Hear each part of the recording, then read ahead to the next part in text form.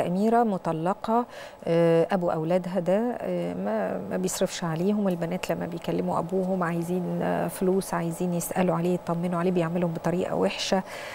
سيدة الفاضلة التعامل اللي المفروض يكون بين الأولاد وبين والدهم من القواعد المعروفة والمقررة في هذا الشأن إن البر مطلوب على كل حال. وكمان النفقة واجبة على الأب تجاه أولاده بأنه ينفق عليهم طبعا على حسب طاقته كل على قدر يساره وإعساره.